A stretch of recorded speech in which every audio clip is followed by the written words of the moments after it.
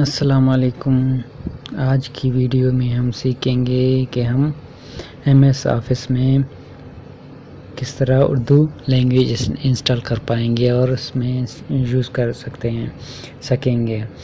उसके लिए कुछ स्टेप्स हमें सीखने पड़ेंगे और उसके बाद इंशाल्लाह हम अपने एम एस ऑफ़िस में, माइक्रोसॉफ्ट वर्ड में इंग्लिश के अलावा उर्दू भी लिख सकते हैं, क्योंकि उर्दू की हमें हर वक्त ज़रूरत पड़ती है। एक एक लफ्ज़ लिखने के लिए भी हमें बहुत सारा टाइम हमारा ख़र्च होता है और दूसरे सॉफ्टवेयर हमें खोलने पड़ते हैं। उनमें से लिख के, फिर एडिटिंग करके बहुत सारा टाइम हमारा ज़ाया होता है। उसके लिए सबसे पहले आपको अपने लैपटॉप में एम एस ऑफ़िस इंस्टॉल करना पड़ेगा। जब एम एस ऑफ़िस रेडी हो गया, फिर उसके लिए एक और ज़रूरी सॉफ्टवेयर है, जिसको हम इंस्टॉल करेंगे। इन इस वीडियो को पूरी तरह देखने के बाद आप अपने कंप्यूटर में उर्दू के सॉफ्टवेयर इंस्टॉल कर पाएँगे। सिर्फ़ एम एस ऑफ़िस में हम उर्दू नहीं लिख पाएँगे।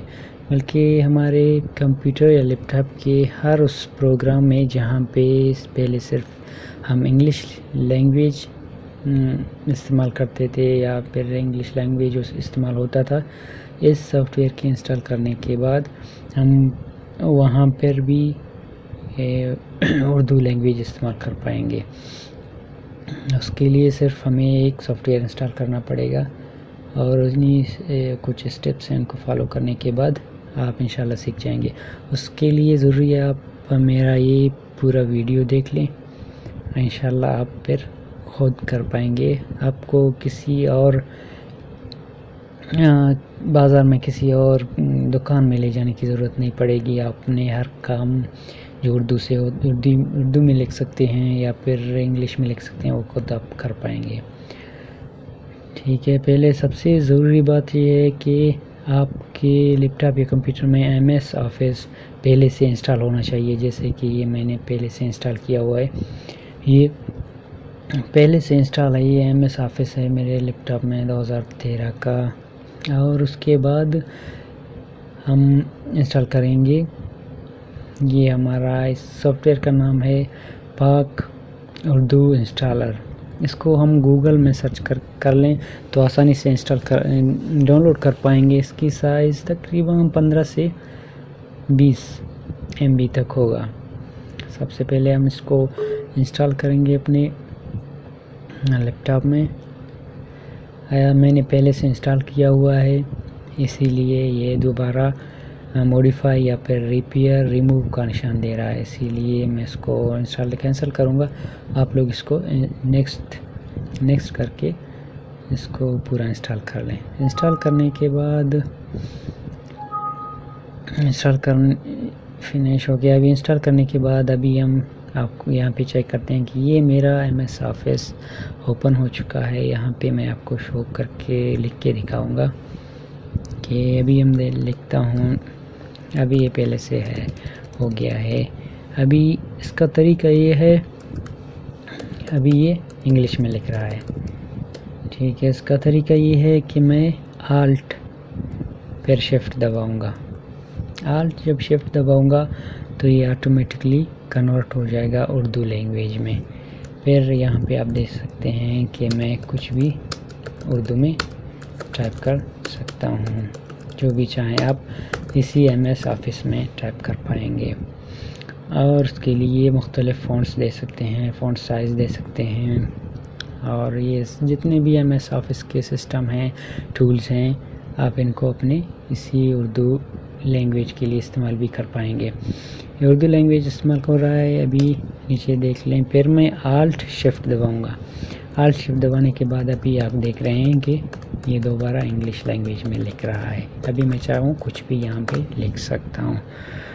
अभी ये सिर्फ़ एम एस ऑफ़िस में, में ये उर्दू लैंग्वेज नहीं आ जाता। ये उर्दू लैंग्वेज पूरे हमारे लैपटॉप या हमारे कंप्यूटर में इंस्टॉल हो जाता है। जैसे यहाँ पे थोड़ा यहाँ पे नीचे आ जाए टास्क बार में। तो यहाँ पे लैंग्वेज शो करता है। यहाँ पे आप देख रहे हैं, ये भी यहाँ पे भी आ चुका है। पूरे कंप्यूटर में पूरे सिस्टम इंस्टॉल हो चुका है कि यहाँ पे उर्दू का भी लैंग्वेज है इसमें और यहाँ पे इंग्लिश भी लैंग्वेज है। तो आप इसको इंस्टॉल करें अपने कंप्यूटर में। आपको बहुत काम देगा क्योंकि इसके लिए मैंने भी बहुत सारी मेहनतों के बाद ये मैं कर पाया हूँ, क्योंकि मैं, जब भी मैं एम ऑफ़िस में काम करता था तो मुझे उर्दू की ज़रूरत पड़ती थी तो उर्दू नहीं था तो फिर दोबारा मुझे इन पेज में जाना पड़ता था। इन पेज का आपको पता है, थोड़ा मुश्किल है, या फिर एम पेज में जाना, उसको फिर एम ऑफ़िस में आना तो ये थोड़ा मुश्किल काम है। इसके लिए, और एक, जब हम फ़ोटोशॉप भी हम बहुत ज़्यादा इस्तेमाल करते हैं। फ़ोटोशॉप में हम टाइटल वगैरह भी देते हैं। जैसे मैं आपको यहाँ पे शो करता हूँ कि ये मैंने एक ब्लैंक पेज को ओपन कर लिया। अभी यहाँ पे मैं कुछ लिखूँगा। अभी अभी आप देख रहे हैं। ये मैं इंग्लिश में लिख रहा हूँ। यहाँ पे भी मैं आल्ट एक आल्ट का बटन वो है जो स्पेस बटन के लेफ़्ट साइड में है। ए एल टी लिखा हुआ है। आल्ट को दबा के फिर मैं शिफ्ट को प्रेस करूँगा, फिर छोड़ दूँगा। फिर पे यहाँ पे लिखता हूँ जो भी। अभी ये आप देख रहे हैं कि यहाँ पे फ़ोटोशॉप में भी मैं उर्दू में लिख रहा हूँ।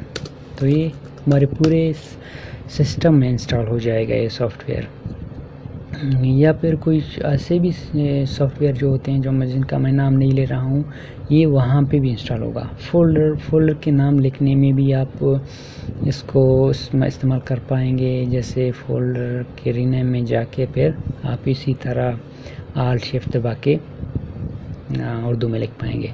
या फिर आप फेसबुक चूज़ कर रहे होते हैं तो फिर ख़ासकर मोस्टली फेसबुक में कुछ लोग ऐसे होते हैं जो उर्दू लिखने के शौकीन होते हैं। वहाँ पे ये सिस्टम ज़्यादा इस्तेमाल, उर्दू काम देता है। वहाँ पे भी आप आल्ट शिफ्ट दबा के फेसबुक में मैसेज भी कर पाएँगे स्टेटस भी अपलोड कर पाएँगे। ठीक है, इस तरह की और बहुत से वीडियो हैं जैसे कि वीडियो किस तरह कन्वर्ट करते हैं। कुछ ऐसे वीडियोस होते हैं जो हमारे यूजली वीडियो एडिटर वो जो होता है, जिसके ज़रिए हम अपने वीडियोस को बनाते हैं, शूट करते हैं, उसमें कुछ दूसरे इफ़ेक्ट वगैरह या फिर साउंड में उसमें चेंजिंग करते हैं तो उसके लिए कुछ ट्रिक्स की ज़रूरत पड़ती है, वो इंशाल्लाह आगे भी हम वीडियो बना के शेयर करेंगे। तो उसके लिए आपको हमारे चैनल को सब्सक्राइब करना पड़ेगा। तो इन आगे जितने भी चैनल्स होंगे बेल आइकन बेल की बटन को भी प्रेस कीजिए, क्योंकि उसके बाद आपको हमारे जितने भी वीडियोस होंगे, वो शो होंगी। आप ठीक से देख के पैर सीख जाएँगे इन वीडियोस को हमारे शेयर कीजिए लाइक कीजिए और चैनल को सब्सक्राइब करना मत भूलिएगा।